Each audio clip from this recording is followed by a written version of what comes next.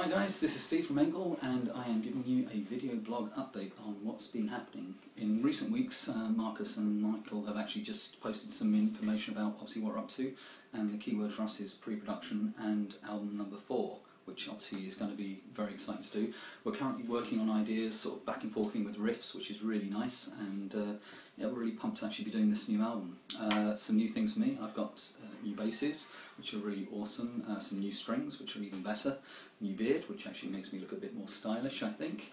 Um, but ultimately, we're really looking forward to actually sort of being able to sort of get into the studio and actually sort of make all this you know, magic happen. But anyway, we'll keep you posted, and obviously stay tuned for some more video updates. Bye.